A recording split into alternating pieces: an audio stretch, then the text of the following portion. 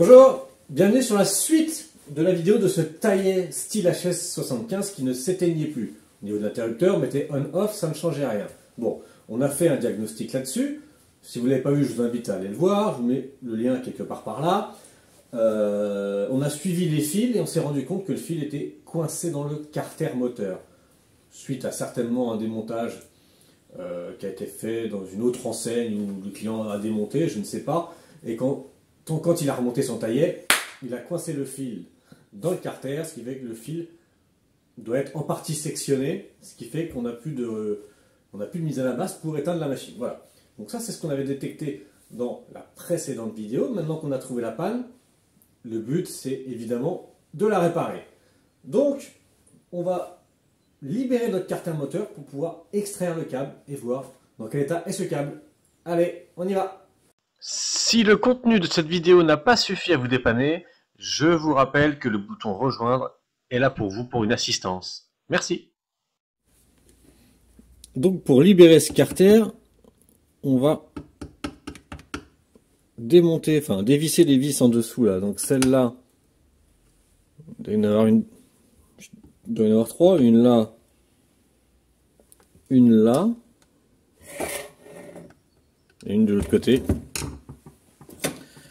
On va voir ça tout de suite.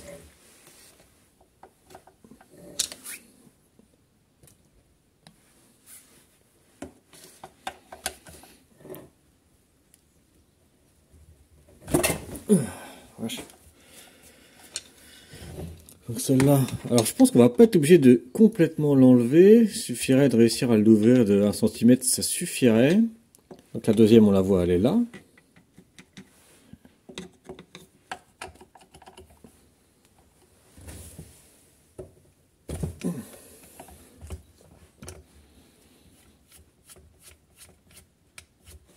Et troisième, je vais pas vous la montrer parce que ça va être compliqué. Voilà, elle est derrière là-bas.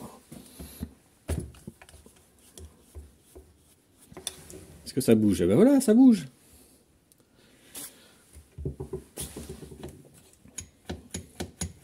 Est-ce que ça suffit pour libérer notre câble? C'est ça qu'on veut savoir. Ce câble qui est coincé là. Alors, ça donne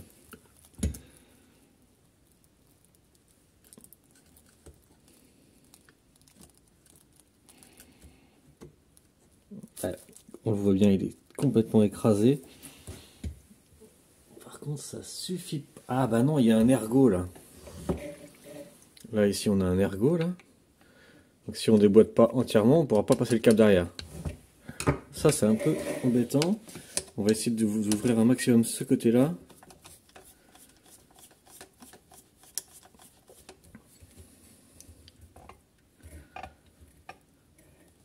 On va dévisser un petit peu plus ici. Bon, désolé. Désolé si c'est mal cadré, c'est difficile d'être partout.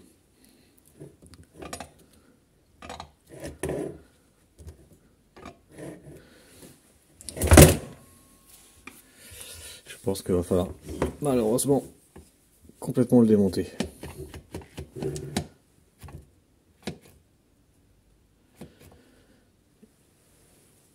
Bon, de toute façon, il y a trois vis à enlever. Allez.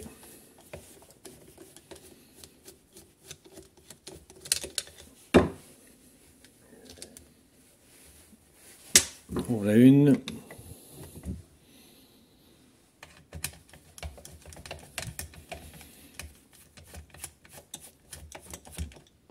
Repérez bien les vis. Hein. Il y a parfois des vis plus longues que d'autres.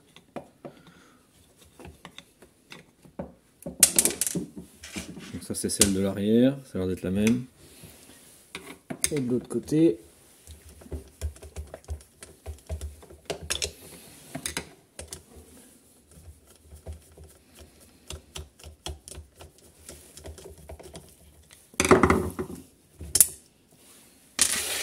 là c'est les trois mêmes. Alors, ça donne quoi?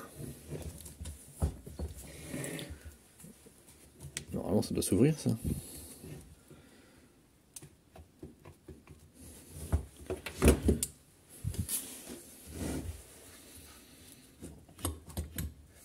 Moi, je veux pas besoin de l'ouvrir, je veux juste... Ah, voilà.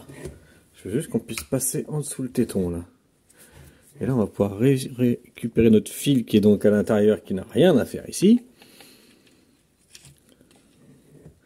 Le refaire passer à l'extérieur. Voilà. On a récupéré notre fil. J'imagine dans un triste état, on va aller voir ça, mais on a récupéré notre fil. Maintenant, on va pouvoir refermer.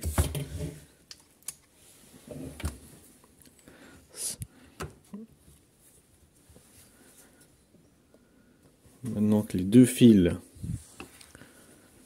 sont là, là, c'est bon. On va tout de suite resserrer pour pas trop que ça bouge. Procédure inverse.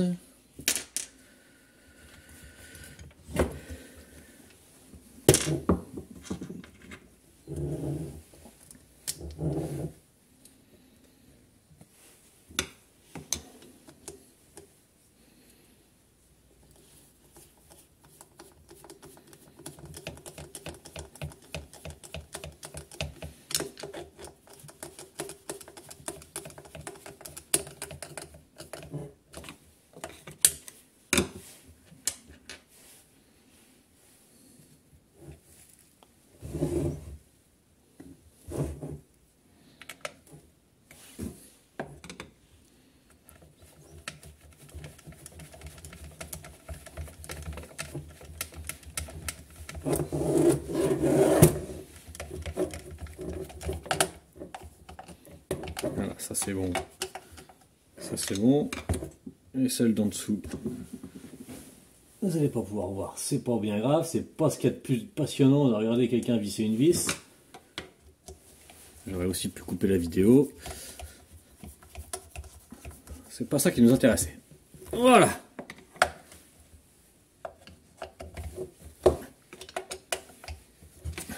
Ça c'est bon. Maintenant qu'on a récupéré notre fil. Alors il est où ce fil? Je vais essayer de mettre un peu plus de lumière. Est-ce que je peux faire ça euh, Est-ce que je peux faire ça?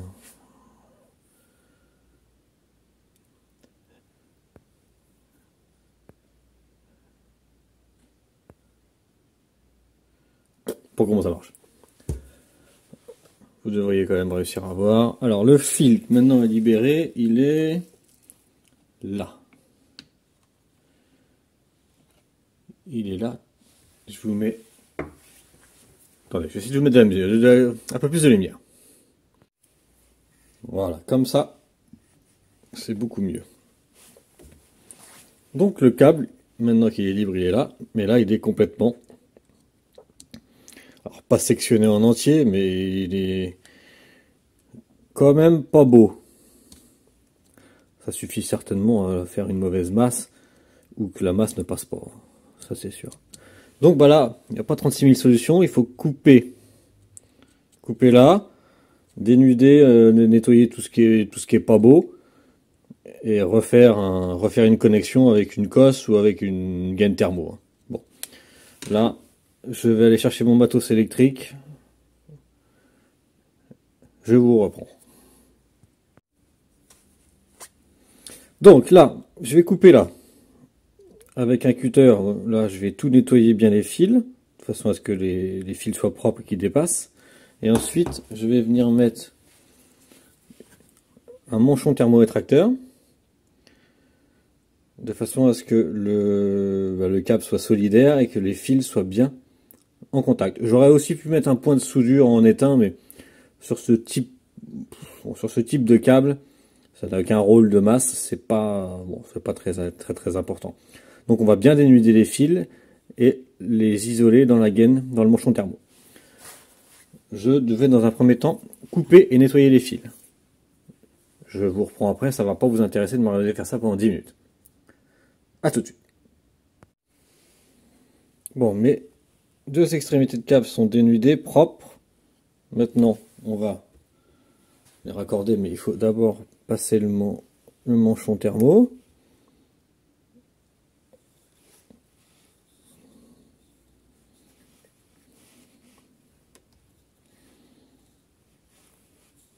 Allez.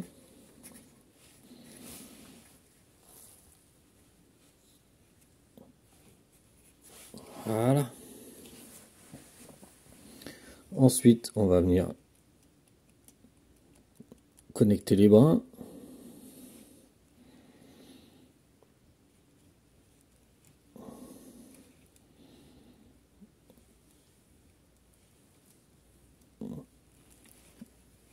On vient les entortiller entre eux, les tourner. De toute façon, à ce que ça tienne? Bon, après, c'est pas très grave si ça tient pas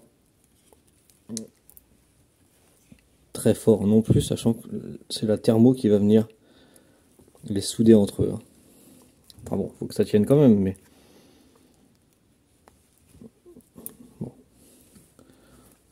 On aurait aussi pu mettre une cosse et une thermo par-dessus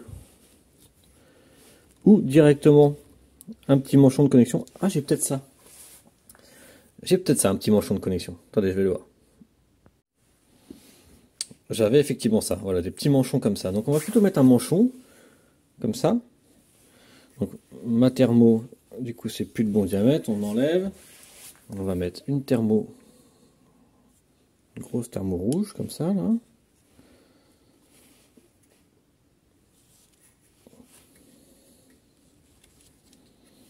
Alors la thermo c'est pas obligatoire si on met un manchon, mais bon. Ça permet quand même d'isoler la cosse. Ok. Donc maintenant, on y va.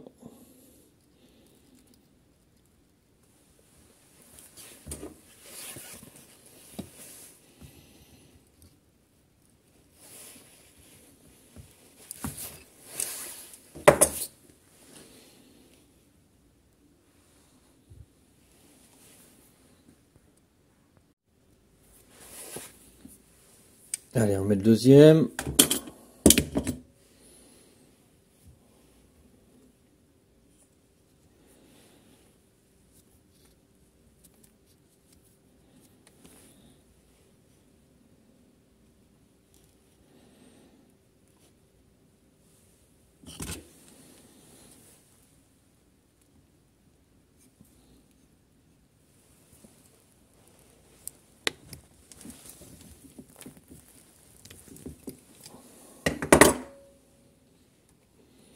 Vérifier que les fils tiennent bien. C'est bon. Alors je vous dis, on n'est pas obligé de mettre un manchon thermo. Mais bon, ça évite quand même l'humidité, ça protège ce qu'on vient de faire. Donc on va le faire.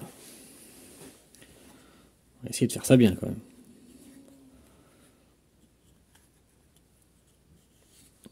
Voilà. On chauffe.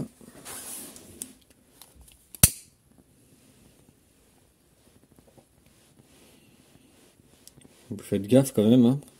Vous êtes en dessous d'un réservoir quand même. Allez pas vous faire péter la tête. Assurez-vous qu'il n'y a pas de fuite d'essence ou autre. Hein.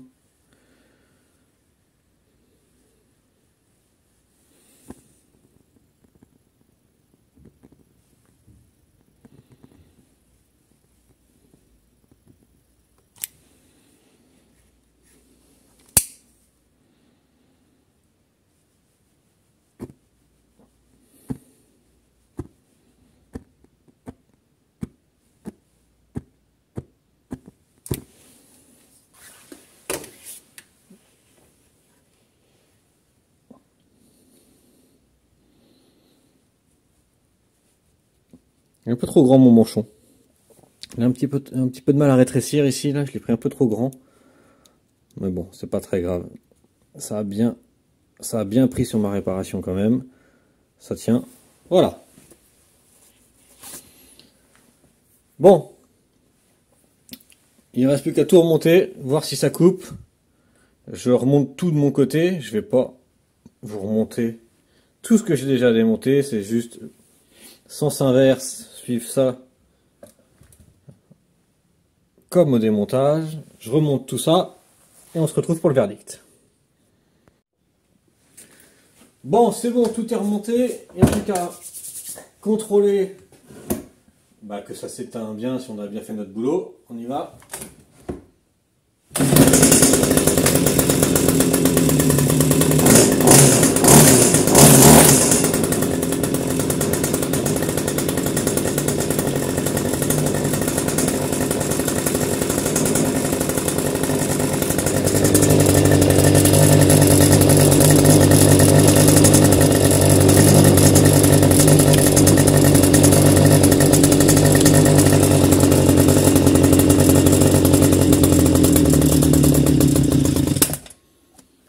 Ça change rien. Aïe aïe aïe. Donc sur cette machine-là, on avait bien le problème de fil. Euh, oui, le problème de fil qui était dans le carter qui était écrasé, mais semblerait-il qu'il y avait une autre panne. Parce que ça ne change rien. Bon, bah écoutez, c'était pas prévu, mais c'est du live, c'est intéressant. On va continuer les recherches. Maintenant qu'on a réparé notre fil, bah, il ne reste plus que l'inter ou la bobine, mais bon, là c'est quand même très rare.